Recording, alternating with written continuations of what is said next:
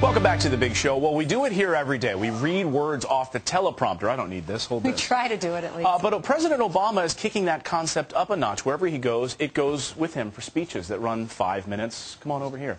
To uh, maybe 50 minutes. But it turns out that that teleprompter is causing problems for the press crew covering the president. That's right. We don't need the teleprompter here. We're back this morning with Governor Mike Huckabee as I is it Mike Huckabee? I don't even know. According to the teleprompter that I'm looking at right here off camera, it is. Do we have a wide shot of that? I guess. It is a bit different, and there you see There the go. teleprompter and what That's the the view shot is I like. wanted. And Governor, shot I wanted.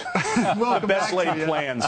so these are the words on the on the floor. This is what you see when you're when you're with Obama or when you were on the campaign trail. But you, would see you don't that, yeah. necessarily, as a governor, you didn't necessarily use a teleprompter a whole lot. Why not? Uh, well, for the most part, you want to be able to speak with the sense of uh, spontaneity. You want to be able to look at the eyes of your audience.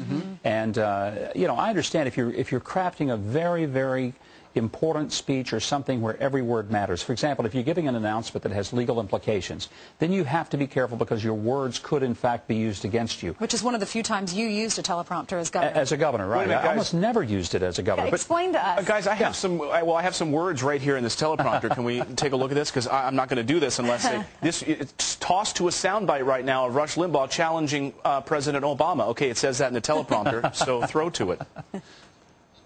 They wanted me to be the focus of attention, so let's have the debate. I am offering President Obama to come on this program without staffers, without a teleprompter, without note cards, to debate me on the issues. Height. Yeah, so this teleprompter is what he uses out on the road all the time, Governor. And when he's out there, of course, there, it got a little bit of a, flap the other day ca- uh, for Health and Human Servi- uh, Services Secretary Kathleen Sebelius. He, she was out to come out a speech, and President Obama's standing there, and this teleprompter thing moves up. This is a glass plate in front of her. It starts to go down, and she gets a little thrown off, and he says, oh, don't worry about that. That's going to go down. So it seemed like she was going without notes, and he's up there constantly using notes. Is this a crutch? Well, you know, the point is a teleprompter is a useful tool, and I don't begrudge him for using it. I think it can be very helpful, particularly when he wants to get his message across and be very precise and be on time. But for a simple announcement like today, I want to present to you my Health and Human Services Secretary. It is unprecedented for a president or anyone else for the most simplest of things to use a teleprompter and to script every single word. That's what is different about this president. And historians have gone back for the past 25 years and have said it is an unusually Sure. uh, significant use of it. But let's be honest, this is one of the most talented speakers we've ever seen. What does this mean that he uses the prompter? Is it just something to talk about, or is it a problem? Well, it's not a problem. I mean, it's his personal style. And, and frankly, I think we've got to cut him some slack. His job is to communicate. If he can communicate better with a prompter than he can extemporaneously.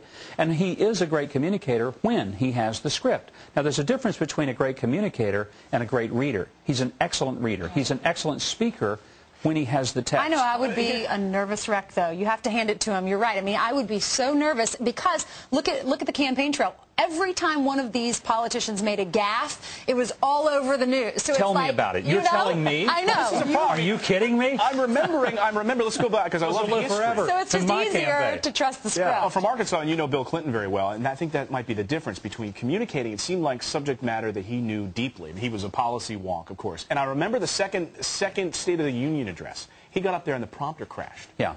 And there was no prompter at all. So he was going off of memory. Uh, he knew this stuff very well. Does, is that a reflection of President Obama basically not knowing the material? I would say it's a better reflection of President Clinton in being a master of his policy and also being a master communicator. One of the things that I think you want to achieve is that when you're looking at your audience, you're not talking to the text, you're talking to the audience. And you're, you're looking in their eyes and you're getting anchor points through that audience and you're wanting to find out what are they telling you in their faces. That'll give you the ability. Do you know? Do you need to be more intense? Do you need to toss in something here? That's to be able to be spontaneous and roll with it. Yeah. Okay, Governor, thank you so much for joining us this morning. and good luck on your big stimulus tour, too. You're going to be heading out to different cities, right? That's what it says here. Well, that's, uh, that's what we're going to do in a couple of weeks. We're going to be going out to some American cities that are struggling and talking about what can happen to save the towns. All right, you always catch a Let's show let on the Clayton weekend, read the prompter. That's right. Read that prompter, this weekend. Tha- Eight thank Saturdays. you. Thank you, Governor Huckabee. A hidden fee just for